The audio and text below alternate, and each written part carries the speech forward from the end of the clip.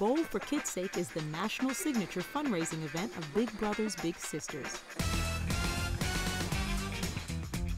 All of the money raised goes directly toward helping kids right here in your community.